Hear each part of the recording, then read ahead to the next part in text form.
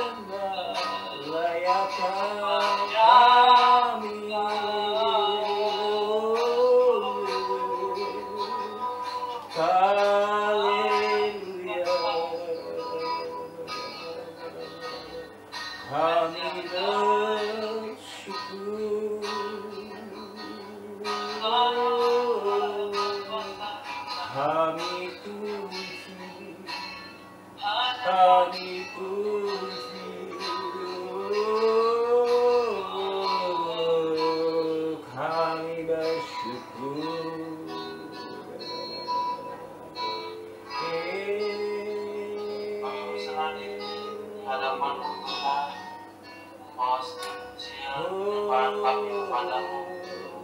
Biarlah Engkau saja yang berkenan atas kami atas setiap ujian yang Kau naikkan kepadamu Bapa. Mari dari semua kesempurnaan Tuhan menyerahkan seluruh hidup kami.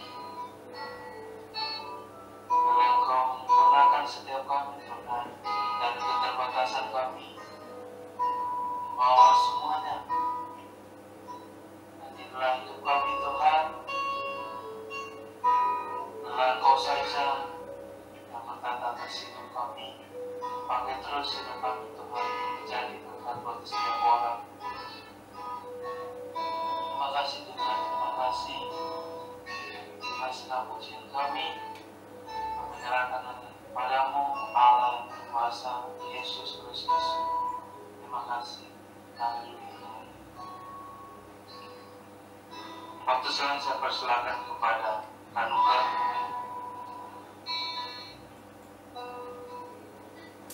Oke, shalom Bapak Ibu, rekan-rekan hamba Tuhan, para pastor. Ya, semoga mendengar suara saya dengan jelas ya. Mari kita sekali lagi berdoa, kami sungguh bersyukur, terima kasih Tuhan Yesus luar biasa. Kami sungguh bersuka cita karena kasih anugerah Tuhan begitu besar bahkan sampai hari ini kami masih diberi sehat, kekuatan dan penuh saja. Dan hari ini kami minta pertolongan Tuhan Yesus saja, urapi kuduskan, hambamu juga kuduskan setiap peralatan yang kami pakai sehingga berkenan di hadapan Tuhan dan hanya untuk kemuliaan Tuhan Yesus saja. Hari ini kami mau dengar, duduk diam, bahkan belajar merenungkan firman Tuhan. Di dalam nama Tuhan Yesus Kristus kami bersyukur, kami berdoa. Haleluya. Amin. Baik, saya mungkin lebih enak memanggil rekan-rekan hamba Tuhan, para pastor yang terhormat dan terkasih di dalam nama Tuhan Yesus Kristus. Eh, hari ini sekali lagi sesuai dengan tema satu bulan ini tentang looking forward. Waktu dengar kata looking forward, satu hal yang tentunya pasti ada di benak banyak orang adalah tentang bicara tentang masa depan, tentang satu situasi, satu kondisi di mana saat ini kita sedang dalam satu situasi yang mungkin boleh dibilang kalau pada era-era tertentu kita ada sebutan istilahnya zaman kegelapan atau mungkin zaman yang uh, seolah-olah kita itu sedang penuh harapan ya. Kita tahu di dalam setiap zaman bukan saja cuma bicara tentang virus uh, kalau kalau uh, kemarin-kemarin hari uh, uh, siapa itu namanya? Saya jadi lupa nama pester siapa ya. Itu ada yang sharing di dalam satu uh, satu sesi gitu ya dari orang IFGF juga. Ah, saya lupa bicara tentang Black Death ya. Dan juga kalau sebenarnya kalau kita runtut juga ternyata kita bisa kalau bicara tentang satu zaman itu memang ada satu era-era tertentu di mana ada namanya zaman kegelapan. Ya, bahkan termasuk Israel sendiri pernah mengalami satu masa 400 tahun di dalam kehilangan harapan sampai pada Kristus datang. Nah, eh, rekan-rekan hamba Tuhan atau para pastor yang terhormat, maka kita coba akan baca terlebih dahulu mengawali tema ini dengan Roma pasal 8 ayat 18 dan ayat 25 yang merupakan adalah ayat e, tema kita ya. Mungkin sudah banyak dibicarakan atau bahkan dikotbahkan di dalam kota-kota IFKS sebelumnya. Saya akan bacakan untuk e, sekalian Sebab aku yakin bahwa penderitaan zaman sekarang ini tidak dapat dibandingkan dengan kemuliaan yang akan dinyatakan kepada kita. Tetapi jika kita mengharapkan apa yang tidak kita lihat, kita menantikannya dengan tekun. Sekali lagi saya bacakan Roma pasal 8 ayat 18 dan ayat 25. Sebab aku yakin bahwa penderitaan zaman sekarang ini tidak dapat dibandingkan dengan kemuliaan yang akan dat yang akan dinyatakan kepada kita. Tapi jika kita mengharapkan apa yang tidak kita lihat, kita menantikannya dengan tekun. Satu perkataan yang betul-betul menjadi kekuatan tentunya pada era itu, pada zaman itu di konteks di mana orang-orang Kristen di dalam situ situasi, dalam situ satu eh, satu kondisi tekanan dan sebagai minoritas, sebagai orang yang terpinggirkan, banyak mengalami penderitaan, banyak mengalami penolakan, ayat ini sangat menjadi kekuatan. Nah, hal yang sama juga di konteks yang modern ini, tetapi ternyata konteks yang saya perhatikan ya, kalau kita lihat konteks modern ini, saya agak sedikit menyimpang terlebih dahulu. Satu sambil sambil mungkin sharing sedikit sharing tentang bagaimana kita melihat realita dan fakta hidup gitu ya, khususnya di kaula muda, di generasi Z, di juga uh, era-era milenial ini, kelihatannya ayat ini seolah-olah menjadi tidak applicable, ya. menjadi tidak kontekstual. Seolah-olah kita itu ya so what gitu ya. Orang-orang sekarang sudah pesimis, apatis, skeptis dengan perkataan-perkataan demikian. Terus kita bilang looking forward forward apa? Yang ada seolah-olah era zaman ini saya perhatikan spiritnya itu seolah-olah menjadi spirit daya juang humanistik, spirit yang kemanusiaannya jauh lebih tinggi daripada spirit yang spiritual. Kita sudah mengabaikan hal ini. Lalu bagaimana firman Tuhan bisa dinyatakan dan diperkatakan di era zaman ini yang tentunya saya yakin dan percaya Bapak Ibu para pastor khususnya dan para hamba Tuhan termasuk Sandi dan juga Jasani dan siapa lagi itu ya? Oh Yefta ya para hamba Tuhan juga yang melayani di gereja. Halo. Nah, pasti kita masih meyakini dan pasti pasti mengimani bahwa setiap perkataan Tuhan masih applicable sampai kedatangan Tuhan Yesus yang kedua. Sehingga saya merasa tergerak hati saya, apalagi ini menjelang Natal, bagaimana kalau kita bicara tentang looking forward dalam konteks kedatangan Kristus tanpa saya membicarakan tentang oh bagaimana nanti Tuhan Yesus datang, kita bukan lagi bicara tentang eskatologi, mungkin itu bukan ranah saya. Kenapa saya ingin mengangkat ini? Saya kebetulan uh, lagi sebenarnya waktu waktu searching looking forward saya sudah beberapa hari yang lalu gitu iseng-iseng, eh lihat looking forward karena kebetulan saya uh, banyak di dunia remaja dan banyak uh, apa banyak memberikan pelatihan tentang uh, tentang motivasi. Jadi rata-rata looking forward itu banyak berhubungan dengan cita-cita, tentang masa depan, karir, jenjang karir, bagaimana mengikuti. Dan salah satu buku yang muncul di dalam timeline saya dan kemudian saya sempat baca-baca PDF-nya. Ya, ini memang agak susah cari PDF-nya karena harus beli. Judulnya Progress. Jadi satu buku tentang ekonomi sebenarnya uh, tidak ada hubungannya sama sekali dengan kekristenan ditulis oleh seorang seorang dari Swedia. Saya kurang tahu ini Kristen atau bukan namanya Johan Norbert ya. Saya uh, ya di dalam buku itu ada dia memberikan memaparkan 10 alasan apa ya judulnya? 10 reason to look forward to the future. Memberikan 10 alasan untuk melihat masa depan dalam konteks umum. Nah kenapa perlu melihat itu dia mem memaparkan ada 10 hal di sana tentang bidang makanan, bidang sanitasi, uh, dalam bahasa life uh, harapan hidup, kemiskinan, uh, kejahatan, lingkungan hidup, literatur, kebebasan, kesetaraan, dan juga uh, apa ini namanya anak-anak. Ya. Dan ini saya yakin dan percaya di kalangan uh, Bapak Ibu sekalian, pasti juga isu ini sudah sering kita dengar khususnya di isu-isu sosial. Kenapa perlu diperhatikan? Karena kalau ini tidak dikerjakan dengan baik-baik singkatnya begitu, bahwa kita akan menuai satu buah malapetaka. Ya, kita sudah tahu lah sanitasi misalnya, tentu dengan kondisi zaman yang makin berkembang dan segala macam. Nah, ternyata ada satu artikel yang lain yang sangat erat hubungannya dengan topik kita hari ini dengan judul uh, Ten Reasons to Look Forward hampir sama to Jesus Returns. Nah, orang Kristen hanya punya iman dan kepercayaan yang poin ini. Ya, orang dunia semua percaya tentang look look forward to the future, about future, something like the future, ya segala sesuatu yang berhubungan dengan masa depan. Tetapi tidak banyak orang yang memiliki iman yang benar tentang kembalinya kedatangan Kristus. Bahkan banyak yang menafsirkan konsep tentang kedatangan Kristus dengan cara berpikirnya masing-masing. Sehingga ini menjadi carut marut, menjadi amburadul dan sebagai kita khususnya karena dalam konteks ini saya berbicara para hamba Tuhan. Jadi dalam konteks kita para hamba Tuhan saja ini masih menjadi isu pergumulan kita bersama. Kedatangan Kristus yang seperti pencuri itu. Nah, kedatangan Kristus ini yang seperti pencuri itu dan bagaimana kita siap untuk menyambut kedatangannya. Saya yakin dan percaya Bapak Ibu setuju dengan perkataan saya bahwa hari-hari ini adalah hari-hari penantian. Hari-hari di mana kedatangan Tuhan semakin dekat.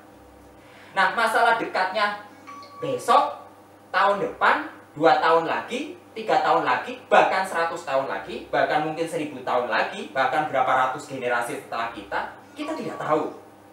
Tetapi yang pasti semakin dekat kita ini dan makin mempercayai bahwa kedatangan Tuhan semakin dekat.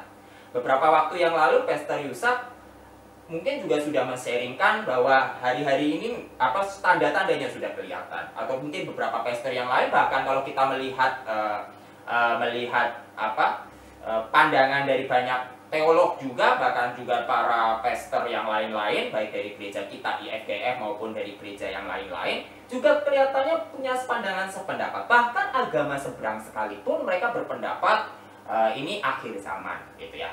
Tetapi saya mau melihat dari cara dan perspektif yang jauh lebih kontekstual dengan iman kita, ya secara khusus iman Kristen dan bagaimana kita memilih pandangan ini. Karena ada 10 alasan tentu saja saya tidak mungkin bisa paparkan sekaligus apalagi dalam waktu yang singkat ini. Jadi saya akan bagi dua, lima alasan pertama akan saya paparkan hari ini pada para pastor dan juga lima alasan berikutnya akan saya paparkan di hari Minggu mendatang pada waktu ibadah Minggu. Kebetulan kan rendeng jadi sekalian saja.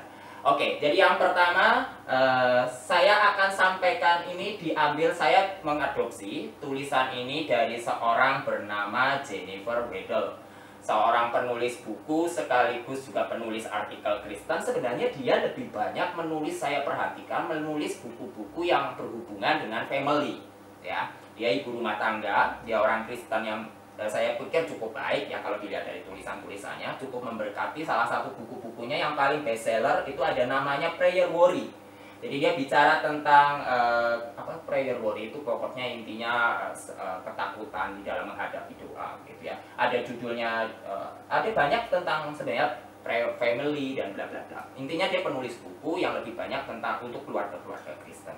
Nah, tapi dia menulis satu artikel di satu website dan ini saya pikir menarik sekali untuk menjadi berkat bagi kita apalagi di hari-hari saat ini di mana dengan kondisi saat ini saya yakin dan percaya saya kurang mendengar sih ya mungkin para pastor jauh lebih mengetahui.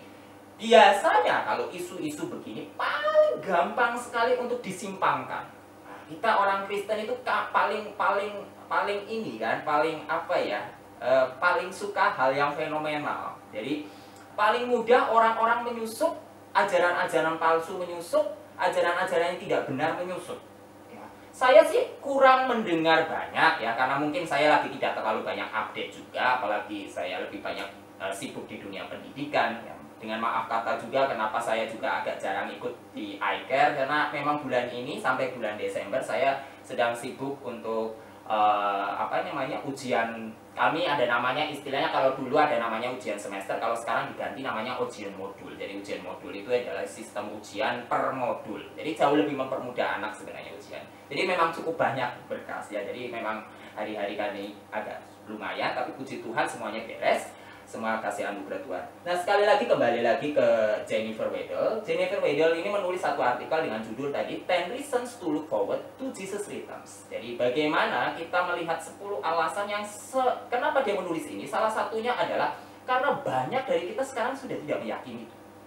Bahkan orang Kristen.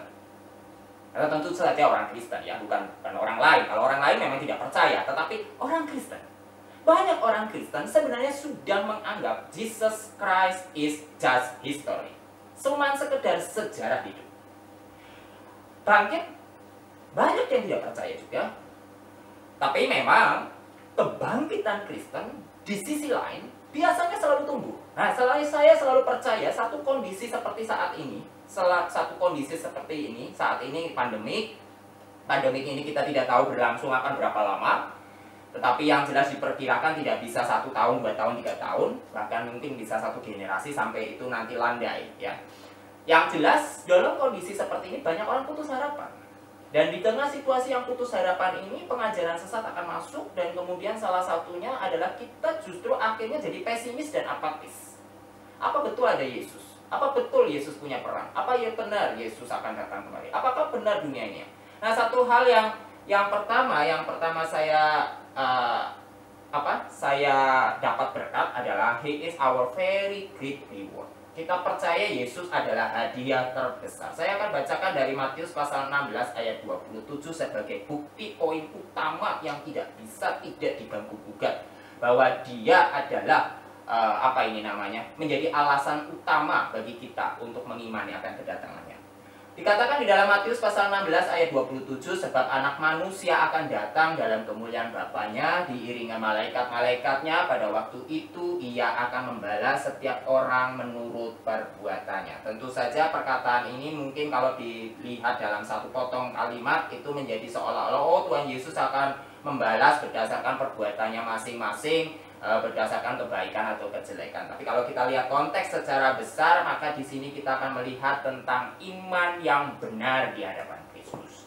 Jadi sejauh mana e, pasal 16 ayat 27 adalah bagaimana kita mempersiapkan diri kita di tengah situasi yang sulit ini bahwa kita percaya Yesus Kristus bukankah adalah hadiah terbesar yang diberikan Allah ke dalam kehidupan manusia di tengah situasi kita yang sebenarnya kehilangan harapan saat Adam dan Hawa jatuh di dalam dosa dan kemudian penggenapan janjinya itu konsisten dari turun temurun dari generasi ke generasi sampai tergenapi pada era Kristus. Di situlah kita akan menyaksikan dan kita akan melihat betul-betul bahwa Yesus ini memang reward terbesar dari Allah yang diberikan kepada kita menggantikan hukuman dosa sekaligus juga menyelamatkan hidup jadi adalah sayang sekali jika perkataan yang sifatnya imaniah ini sebab anak manusia akan datang dan perkataan ini bukan cuma diucapkan oleh seorang bernama Yesus Kristus tapi perkataan ini justru memperlihatkan bagaimana kemuliaan Allah. Kalau kita menyaksikan perkataan ini dalam konteks yang lebih besar dalam satu pasal tersebut dan dalam satu rentang yang panjang dari kitab Matius sampai kitab berikutnya, maka kita akan melihat sebenarnya perkataan ini adalah sebuah tolok ukur bahwa Yesus mengklaim diri. Nah, perkataan ini tidak diucapkan oleh nabi-nabi sebelumnya dan tidak pernah diucapkan oleh sesudahnya. Perkataan ini juga tidak pernah diucapkan oleh orang-orang yang pernah mengaku-ngaku menjadi Yesus dan perkataan ini juga tidak pernah diucapkan sepanjang sejarah manusia selain oleh Kristus Yesus. Artinya apa? Ini klaim, ini janji. Nggak bisa diganggu gugat.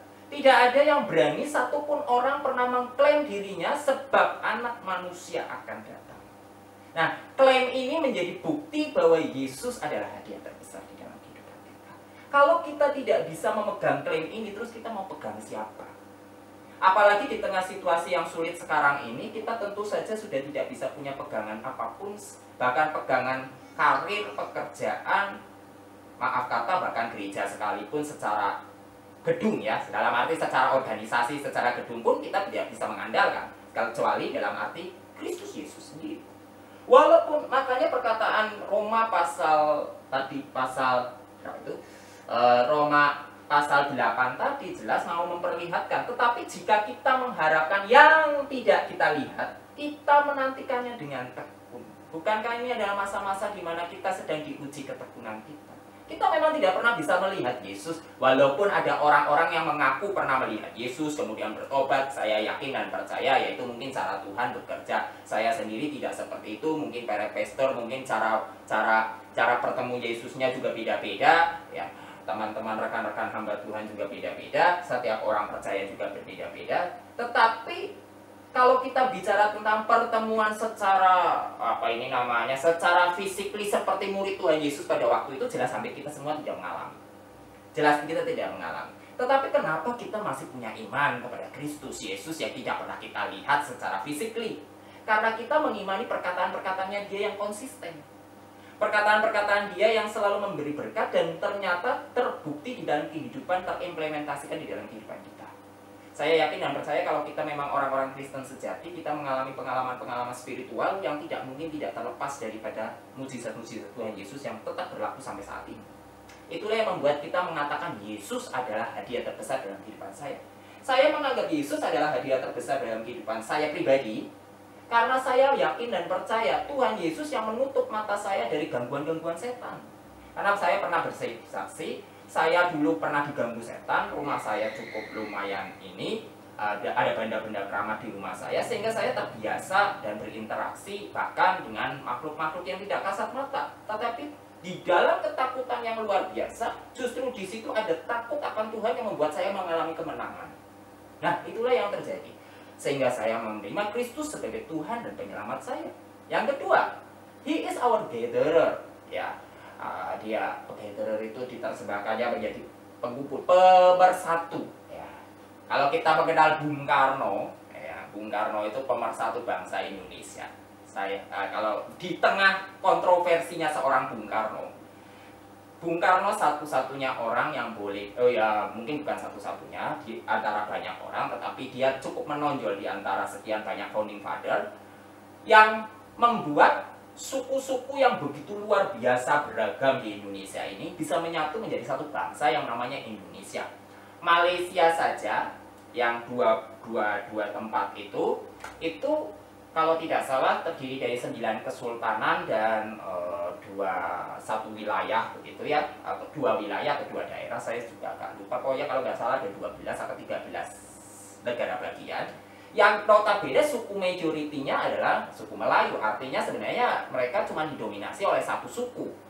Walaupun di antara mereka ada suku-suku pendatang. Nah, Indonesia punya suku yang kalau tidak salah yang tercatat itu sekitar ada 700-an, belum lagi bahasanya, belum lagi budayanya, belum lagi interaksinya. Saya yakin dan percaya eh, para hamba Tuhan di sini yang rata-rata pasti sudah eh, rata-rata berlatar belakang sekolah teologi ya, waktu masuk sekolah teologi ya pertama kali saya masuk itu saya agak kaget ya karena saya kemudian berinteraksi orang Batak, orang China, eh, orang Cina udah biasa ya, orang Batak, orang mana ya suku yang paling bagi saya asing orang Papua. Kemudian waktu itu saya kaget dengan uh, suku Nias. Ya, suku Nias itu punya dialek tertentu yang maaf kata kalau di sini ada orang Nias gitu. Dialek tertentu yang bagi saya waktu dia ngomong itu saya pertama kali mendengar ketawa gitu lah jadi saya saya merasa eh, eh, apa ya? gitu lah gitu. Nah tetapi kita yang beda-beda ini saya yang hidup di tengah zaman sekarang saja kadang-kadang kaget-kaget dengan budaya suku-suku tertentu gitu ya. Budaya suku-suku tertentu apalagi di konteks zaman itu yang bahkan radio aja itu terbatas sekali. Artinya apa? Bagaimana seorang Jawa bisa berinteraksi sama orang Bali saja mungkin itu sudah sulitnya luar biasa. Oh, nggak usah orang Bali, berinteraksi dengan orang Jakarta, orang Jawa Tengah, orang Jakarta itu jelas jarak pada waktu itu juga budayanya sudah berbeda. Tetapi di tengah situasi yang seperti itu, seorang tokoh bernama Bung Karno mempersatukan satu bangsa ini Nah, walaupun kontroversinya macam-macam katanya ada paksaan dan segala macamnya itu kita abaikan lah. Intinya kita sudah memenangkan kemerdekaan ini kurang lebih kan sudah 75 tahun berlangsung. Eh sorry, ya betul. Dan dalam 75 tahun ini kita melihat buahnya. Nah, di sini apa yang mempersatukan? Yesus Kristus. Nah, ini saya baru menyadari betul ketika saya melayani di sini di Purbalingga. Khususnya sebenarnya saya sudah biasa berinteraksi ya dulu juga di Jakarta sudah biasa berinteraksi dengan orang asing. Entah orang mana orang mana orang mana begitu tetapi ketika saya bekerja sama secara full time boleh dibilang bahkan full hard begitu ya di Yayasan Boas yang notabene didirikan orang Korea dan kebetulan seorang misionaris sehingga visi misinya adalah berdoa bagi bangsa-bangsa memberitakan Injil di sini saya baru menyadari satu hal pokok doa yang begitu susah dan berat sebenarnya didoakan yaitu berdoa bagi bangsa-bangsa yang bahkan saya tidak mengenal bangsa itu dan tidak terlalu peduli.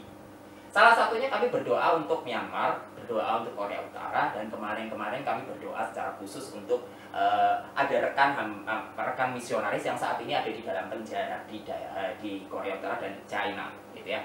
Nah, satu dalam hati saya terus merenungkan, merenungkan, merenungkan satu hal yang awal-awal itu bagi saya berat adalah karena saya merasa nggak ada touchable Saya nggak merasa boro-boro Korea Utara saya aja nggak kenal yang namanya orang Dayak misalnya atau orang Bali atau orang mana gitu ya. Kita masih banyak suku-suku juga yang belum kenal Tuhan Yesus gitu.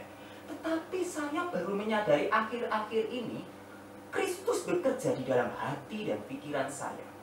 Tiba-tiba saya itu bisa di dalam doa tiba-tiba tergerak sesuatu yang membuat saya saya harus doakan satu negara ini.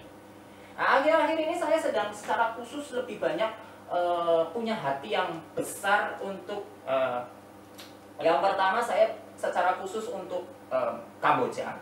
Kemudian uh, apa ini daerah kepulauan-kepulauan di, di pokoknya Papua Nugini ke sana itu nggak tahu kenapa saya punya hati yang besar untuk itu. Bahkan saya ingin berkunjung ke sana. Saya punya. Korea Utara juga salah satunya saya orang banyak yang bilang ke Korea Utara kamu cari mati gitu. Tapi saya nggak tahu. Saya merasa ingin betul-betul ke Korea Utara. Bahkan malah ke Korea Selatan. Walaupun uh, pimpinan saya orang Korea Selatan. Dan pasti ya dia juga tidak terlalu menyetujui kalau misalnya saya jalan-jalan ke Korea Utara. Tetapi saya punya hati yang besar nggak tahu kenapa ingin ke Korea Utara. Ada sesuatu yang menarik gitu. ya nggak tahu apa yang ke depannya akan terjadi tetapi yang jelas hati saya besar. Nah kenapa ini? Saya yakin Yesus Nah, dikatakan di dalam Matius pasal 24 ayat 31 dan ia akan menyuruh keluar malaikat-malaikatnya dengan meniup sangkakala yang dasar bunyinya dan mereka akan mengumpulkan orang-orang pilihannya dari keempat penjuru bumi dan ujung langit yang satu ke ujung langit yang lain. Dari sini kita melihat orang Kristen dipanggil dari segala bangsa, segala abad, segala suku, segala bangsa dan kita satu-satunya yang tidak pernah mengklaim agama Kristen, agama suku tertentu sangat salah dan sangat besar salahnya ketika beberapa waktu yang lalu pernah ada yang ngomong, oh agama Kristen kan agamanya orang Batak, agama Kristen agamanya orang Manado, gitu. Tentu saja itu jelas omongan yang salah, gitu ya, perkataan yang salah. Ini bukan agama orang Amerika, bukan agamanya orang Israel, apalagi orang Israel, Israel nggak percaya Tuhan Yesus, apalagi agama-agama suku tertentu, tetapi ini adalah bagi semua bangsa kita percaya Kristus dari segala tempat, segala abad, bahkan kalau menurut pengakuan bagi gereja-gereja mainstream yang masih mengakui pengakuan iman rasuli, ya mereka jelas mengatakan bahwa pengakuan iman sebagai pengakuan dari gereja segala tempat, segala abad, segala zaman, artinya melampaui segala batas. Nah, kita dipanggil itu. Jadi saya yakin dan percaya dengan Yesus Kristus. Saya baru menyadari maaf kata ini agak sedikit menjelekkan orang Korea. Jadi orang Korea itu bahkan bukan orang Korea, cuma orang Indonesia juga sama sebenarnya. Saya orang Jawa. Kadang-kadang orang Jawa juga tidak terlalu suka suku tertentu. Ya. Orang Korea itu sebenarnya kan orangnya cepat, uh, khususnya yang generasi sekarang, orangnya cepat, uh, suaranya keras, terus kemudian mereka tidak terlalu suka orang lambat. Sehingga kadang-kadang ini pengakuan sendiri, pengakuan sendiri dari orang Korea. Dia bilang, pertama kali saya ke Indonesia saya kaget Kenapa kaget? Terlalu lambat, terlalu apa susah mengerti, gampang tersinggung begitu. Nah orang Indonesia sendiri khususnya orang Jawa ya mungkin orang Jawa sendiri mungkin melihat mereka juga berbeda. Terlalu keras, terlalu cepat-cepat, maunya ini ini. Tapi tapi ya ini satu hal yang menjadi sesuatu yang terbukti di dalam pelayanan saya sekarang ini ada Kristus membuat itu semua jadi seimbang. Nah, jadi Yesus itu membawa kita pada satu pengertian, dia seperti orang tua kita semua. Yang membuat kita memiliki pengertian untuk saling memahami, saling mengerti. Sehingga jadi menjadi satu kesalahan besar kalau gereja kemudian malah jadi pemicu konflik. Karena harusnya gereja malah menjadi pemersatu. Karena Kristus sendiri menjadi pemersatu. Dia mengumpulkan kita dari segala tempat. Jadi kalau uh, misalnya kan biasanya ada di dalam pelayanan ada konflik-konfliknya atau apa biasanya tapi saya yakin tidak di EFDF tapi di gereja-gereja kalau kita melihat yang namanya pemersatu di sini makanya saya jadi merenungkan iya ya gereja itu menjadi tempat di mana orang miskin dan orang kaya bersatu. Orang kulit hitam dan orang kulit putih bersatu. Orang mata sipit orang mata belok bersatu. Orang yang suaranya keras orang yang suaranya lembut bersatu bisa saling memahami, saling mengerti, saling mengasihi, berbagi kasih, berbagi pelayanan, berbagi potensi, berbagi berkat yang lemah dikuatkan, yang kuat memberi, eh, yang kuat menolong yang lemah. Itu satu prinsip yang pasti saya yakin dan percaya para pastor, para hamba Tuhan, para pelayan Tuhan mengakui ini. Dan yang ketiga, he is dwelling place. Dia adalah tempat tinggal. Nah, kalau di dalam ayatnya dikatakan Yohanes pasal 14 ayat 1, janganlah gelisah hatimu, percayalah kepada Allah, percayalah juga kepadaku, di rumah Bapakku banyak tempat tinggal, jika tidak demikian tentu aku mengatakan kepadamu, sebab aku pergi ke situ untuk menyediakan tempat bagimu. Dan apabila aku telah pergi ke situ dan telah menyediakan tempat bagimu, aku akan datang kembali dan membawa kamu ke tempatku, supaya di tempat di mana aku berada, kamu pun berada. Nah, ini kalau perkataan ini biasanya sering dikotbahkan dalam konteks uh, menanti bahwa nanti kalau berarti Tuhan sudah menyediakan tempat dan segala macam ya. Tetapi saya punya cara pandang yang berbeda. Setelah membaca ini juga terus e, merenungkan diri sendiri, sedikit saya combine dengan pikiran saya juga.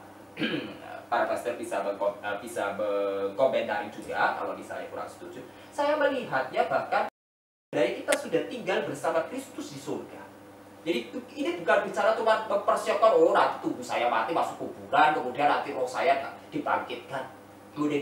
Itu proklamasi akhir ya eh, akhir zaman. Tetapi di dalam masa penantian bagaimana kita mengklaim bahwa Yesus sudah menjadi tempat tinggal kita. Sehingga apa pun yang menjadi kegelisahan hidupku maka di situ ada kepuasan, ada jawaban, ada selalu genggaman tangan Allah yang kuat. Di tengah situasi pandemik, saya yakin perkataan ini menjadi kontekstual sekali. Ketika kita di tengah situasi yang sulit, penuh pertanyaan, beberapa hari, oh sorry, kemarin, kemarin saya kan ke dokter ya, biasa cek eh, gigi saya, tapi dokternya nggak ada, jadi saya minta rujukan aja. Intinya saya sama mama saya juga, kemudian ada orang kayaknya mungkin mungkin ODGJ ya orang dengan gangguan jiwa gitu ya datang gitu nanya-nanya gitu ini orang lucu banget ya gitu ya. Tapi saya tahu hatinya tulus sebenarnya dia tidak berniat jahat cuma tanya-nanya orang semua mikir gitu ya. Biasa kalau namanya ada orang seperti itu kan pas udah tampilannya kotor terus ternyata dia keluarin BPJS oh dia mau berubah juga ternyata. Dokternya sampai nggak mau melayani. Jadi dia tiba-tiba langsung dipanggil dikasih obat saya juga kaget. Ini perasaan rasa belum dipanggil udah dikasih obat aja daripada ya? Mungkin dokternya sudah tahu ya ya biasa orang kalau kita lihat saya nggak tahu itu gelandangan atau apa tapi dia sempat di sebelah saya kemudian mama saya di situ ada di dia sempat nanya-nanya berobat ya bu? Oh ya uh, berobat ya eh, dengan nada datarnya dia ya? Ya berobat. Sakit apa bu? Aduh jadi sok akrab sok apa tapi ya bawa saya responi saja. Saya juga meresponi baik juga, eh, kelihatannya tidak ada niat jahat. Gitu. Tapi satu hal yang saya perhatikan adalah di sekelilingnya, di sekelilingnya itu orang-orang kan menjauhi dan dan ya saya kurang tahu ini ODGJ atau mungkin orang dengan uh, mungkin juga difabilitas ya, tapi kayaknya ODGJ. ODGJ kelihatannya dia orang ODGJ.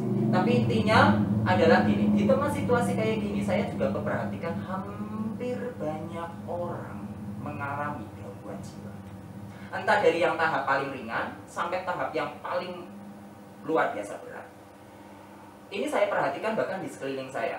Ya, jadi dari yang hal-hal stres, bully, depresi dan segala macam. Kenapa? Salah satu pertanyaan yang mungkin uh, kenapa kok situasi dan ini bukankah pertanyaan para pendiri-pendiri agama sebenarnya. Kalau kita belajar di dalam Buddhisme saja, Siddhartha Gautama salah satunya dia mem, mem, merenungkan perjalanan spiritualnya yang walaupun saya mungkin katakan belum tuntas adalah salah satunya kan mempertanyakan tentang hidup mati dan uh, dan kondisi-kondisi seperti ini. Nah, di dalam Alkitab sendiri kita melihat sebuah jawaban yang pasti bahwa sebenarnya kegelisahan hatimu itu adalah satu kunci yang harus dapat jawaban. Nah, jawabannya ada di mana? Ketika Yesus menjadi tempat tinggal kita. Jadi justru di masa-masa penantian ini saya yakin dan percaya justru harus kita memiliki semakin kuat iman kepada Kristus sebagai tempat tinggal di mana kita di situ berdiam, berdoa, bertekuk lutut, bahkan meminta permohonan dengan kuat kuasanya. Saya yakin dan percaya segala masalah dan persoalan yang kita hadapi bukan menjadi semakin berat, tapi menjadi semakin ringan ketika kita datang pada Tuhan. Saya berbagi berbagi berkat sama anak-anak hari ini. Salah satunya adalah kenapa kita harus datang berdoa. Karena kalau kamu nggak datang berdoa, jadi kami ada satu metode doa, yaitu mempertanyakan 24 kondisi kejiwaan kita. Nah, dalam 24 kejiwaan itu saya jalani lebih kurang hampir 2 tahun, 3 tahun ini. itu saya merasakan betul ada satu hal 24 pertanyaan tentang pertobatan dan kejiwaan kita itu menjadi pertolongan yang luar biasa di mana gini di situ ada satu pertanyaan mana itu pertanyaan ada satu pertanyaan yang menarik sekali yang biasanya mungkin uh, uh, apa itu namanya? Sudahkah kita mengampuni orang lain? Seringkah kita marah-marah? Adakah iri hati? Dan seterusnya ada 24 pertanyaan. Misalnya contoh adakah iri hati? Banyak dari kita ketika kita punya iri hati, kita tidak pernah datang kepada Tuhan untuk minta Tuhan basuh. Tapi kita biarkan iri hati itu menumpuk, menumpuk, menumpuk, menumpuk, menumpuk, menumpuk, menumpuk. Buru-buru kita datang pada Tuhan satu jam, dua jam. Atau kita datang kepada Tuhan 30 menit, 5 menit bahkan. Karena ini dibiarkan, akhirnya iri hati itu bertambah besar. Suatu hari akhirnya menjadi ledakan jiwa kita. Akhirnya itulah yang terjadi gangguan jiwa. Dan waktu saya selalu menggunakan cara ini waktu berdoa, saya merasakan berkat yang luar biasa. Saya pasti punya kelemahan dalam diri sendiri. Tapi ketika saya mengakui kelemahan saya di hadapan Tuhan dan minta pertolongan Tuhan, Tuhan kasih jawaban, solusi, bahkan penenang jiwa. Sehingga saya tidak lagi menumpuk, menumpuk, menumpuk, menumpuk, dan akhirnya betul-betul Yesus menjadi tempat tinggal saya. Besok lagi saya lakukan kesalahan pasti. Besok lagi saya lakukan kesalahan pasti tetapi karena kesalahan itu selalu saya minta pertolongan Tuhan untuk terus dibasuh, dibasuh, dibasuh sehingga semakin hari ada progres. Sehingga semakin hari jigel kegelisahan hati kita menjadi jauh lebih tenang. Saya yakin dan percaya para pastor dan para hamba Tuhan dan para pelayan-pelayan Tuhan juga mengalami berkat yang sama. Yang keempat, saya akan bacakan ayatnya terlebih dahulu Yakobus pasal 5 ayat 7 karena itu saudara-saudara bersabarlah sampai kepada kedatangan Tuhan sesungguhnya petani menantikan hasil yang berharga dari tanahnya dan ia sabar sampai telah turun hujan musim gugur dan hujan musim semi kamu juga harus bersabar dan harus meneguhkan hatimu karena kedatangan Tuhan sudah dekat di sini yang keempat saya uh, menerjemahkannya Yesus adalah yang menguatkan hati kita untuk menanti kedatangan saya ini saya relate dengan poin ke poin ke ketiga bahwa kalau kita mengakui Yesus sebagai tempat tinggal kita dalam sepanjang kehidupan kita, maka di situ kita mengakui juga kekuatan Allah yang menopang kita. Dan di situlah kenapa kita bisa menghadapi setiap masalah, di mana kita juga kenapa zaman ke zaman ada orang-orang yang bisa melewatinya kesulitan-kesulitan itu karena Yesus adalah yang menguatkan. Termasuk pada waktu orang-orang Kristen dianiaya. Kenapa gereja semakin dianiaya, semakin apa ini merambah? Karena ada kekuatan Allah yang sanggup memberikan kekuatan dan dorongan yang besar. Dan yang terakhir, yang kelima, saya akan akhiri di sini bahwa dia adalah dikatakan di dalam kisah para rasul pasalnya yang ke-1 ayatnya yang ke-9 Kisah para Rasul pasal 1 ayat 9 sampai yang ke-11 dikatakan sesudah ia mengatakan demikian terangkatlah ia disaksikan oleh mereka dan awan menutupnya dari pandangan mereka ketika mereka sedang menatap ke langit waktu ia naik itu tiba-tiba berdirilah dua orang berpakaian putih dekat mereka dan berkata kepada mereka Hai orang-orang Galilea, mengapakah kamu berdiri berdiri melihat ke langit? Yesus ini yang terangkat ke surga meninggalkan kamu akan datang kembali dengan cara yang sama seperti kamu melihat dia naik ke surga. Bapak Ibu sekalian, Yesus bukan saja mengangkat dirinya sendiri, tapi Yesus jugalah yang mengangkat cara pandang kita. Ya, He is the lifter of our gaze dia yang mengangkat bagaimana kita punya cara pandang. Dalam dalam dalam penjelasannya dan saya juga meng, meng, meng, mengimani bahwa kenapa sih kita masih punya motivasi di dalam kehidupan kita? Kalau para motivator yang saat ini sudah nggak laku lagi para coach yang sekarang juga tidak booming lagi para mentalis, para hipnosis yang beberapa tahun yang lalu itu sangat sangat booming karena dianggap menjadi tempat jalan keluar yang bahkan bisa menggantikan para dokter, bahkan para para petugas konselor dan lain-lainnya begitu ya. Bahkan para hamba Tuhan, saya yakin dan percaya gitu ya. Mereka mau menggeser semuanya. Sekarang sudah tidak booming lagi. Sebenarnya bukankah kita punya wonderful counselor? Kita punya penopang yang kuat, Yesus Kristus sendiri kita walaupun tak bisa melihat sekali lagi saya kembali ke Roma pasal 8 tadi kita memang nggak melihat tapi kita mau tekun nggak dengan setia kalau kita cuma berpikir seperti Thomas yang ada kita cuma malu Thomas terbukti pada waktu dia mengatakan oh aku nggak percaya aku nggak percaya aku nggak kalau aku nggak mencucukkan jari tanganku dalam lubang paku ya aku nggak bakalan percaya. Tapi waktu Yesus datang betul-betul menunjukkan tangannya. Dia malah malu luar biasa bahkan tak berani sama sekali mencucukkan jari. Apa kita harus sampai dipermalukan seperti itu? Artinya dipermalukan apa? Jangan-jangan ketika kita mengeraskan hati dan pada akhirnya kita mendapat beban berat yang begitu bermasalah sebetulnya ini cara Tuhan untuk membuat kita dipermalukan. Yang membuat kita kembali puji Tuhan kalau masih cuma dipermalukan. Yudas ditinggalkan. Yudas ditinggalkan. Kita bisa melihat komparasi mungkin uh, para hamba Tuhan jauh lebih mengerti. Uh, komparasi antara dua murid Yesus ini Yudas dan Thomas. Dua orang yang sama-sama bahkan Simon Petrus tiga orang ya. Sama-sama tidak percaya tidak mengakui akan kebangkitan tapi kemudian mereka dengan caranya masing-masing. Bagaimana di akhir kemudian?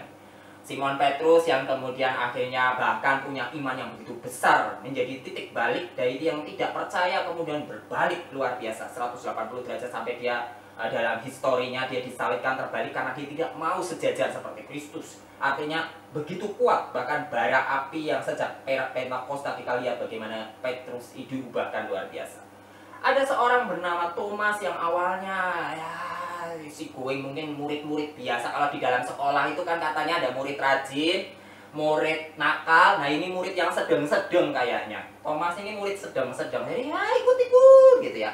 Enggak enggak. Sudah mati. Ya sudah. Tinggalkan saja. Aku gak bakalan percaya. Tetapi Tuhan bikin cara untuk menjadikan seorang Thomas yang biasa-biasa menjadi luar biasa. Dipermalukannya dia. Ada lagi seorang Yudas yang kasihan sekali sebenarnya Yudas ini malah dalam dalam dalam perjalanannya malah dibalik. Ini mungkin kalau malah saya nggak tahu ya coba pandangan para pastor ya. Saya mencoba mengadek-adek dengan bahasa saya sendiri. Petrus itu betul-betulnya murid nakal. Ya itu selalu sok-sokan, sok pintar, sok hebat, sok luar biasa. Tapi waktu terakhir, oh aku tidak akan mengkhianati aku. Seolah-olah dia hebat sekali. Tapi seolah-olah ya pokoknya nakal lah nakal. Kan ada murid yang kayak gitu. Eh kalau Thomas kita tidak lihat ceritanya. Dia sepi sunyi tiba-tiba muncul aja waktu waktu ada kisah uh, Yesus dibangkitkan kemudian muncul Thomas yang bilang aku nggak percaya gitu ya. Murid yang biasa-biasa. Yudas ini murid terpercaya. Kalau enggak dia nggak bakalan pegang uang. Dia nggak bakalan pegang kas negara. Kas negara dalam arti kasnya uang yang ada di dalam Eh, dalam komunitas mereka begitu ya. Berarti kemungkinan Yudas malah justru sosok yang kelihatannya baik tetapi di kemudian hari. Seolah-olah dia seperti gandum tapi di kemudian hari ternyata dia hilang. Dia justru yang menyerahkan Kristus. Walaupun banyak pandangan ya kalau kita belajar teologinya karena kebetulan saya berada dengan para pastor dan juga mahasiswa teologi jadi saya yakin sudah sering mendengar tentang oh pandangan-pandangan yang berhubungan dengan Yudas di kemudian hari siapa dia dan kemudian apakah betul Yudas itu di di, di ini kontroversinya macam-macam. Tapi kita melihat bagaimana dari situasi ini kita melihat sebenarnya Yesus itu punya peran besar mengupgrade para murid. Mengupgrade para murid. Dia juga punya peran besar mengupgrade saya. Dia punya peran besar saya yakin mengupgrade Bapak Ibu sekalian. Dia yang mengangkat cara pandang kita. Sehingga dulu kita penakut, dia kita dulu orang-orang yang jauh dari Tuhan, kita dulu orang-orang yang banyak menghadapi situasi-situasi sulit dengan ketidak ada harapan, tetapi saat ini kita melihat Yesus luar biasa besar dalam hidup kita. Tuhan memberkati kita sekalian. Mari kita akhiri di dalam doa sekali. Sekali lagi. Kami sungguh bersyukur, terima kasih lima poin ini semoga menjadi berkat bagi kami sekalian secara khusus saat ini yang bersatu bersama kami mengikuti Zoom. Walaupun mungkin banyak dari kami sudah tahu akan kebenaran firman Tuhan ini dan kami sudah meyakini betul. Tetapi kami mau betul-betul diberi kekuatan bukan cuma melalui pikiran otak kami. Otak kami bisa sangat terbatas. Kami bisa mengetahui banyak apa pun yang dipelajari melalui buku, bahkan melalui Alkitab, bahkan melalui khotbah-khotbah, bahkan melalui tafsiran-tafsiran, bahkan melalui banyak hal. Tetapi ada satu yang tidak mungkin tergantikan. Peran Kristus di dalam hati kami.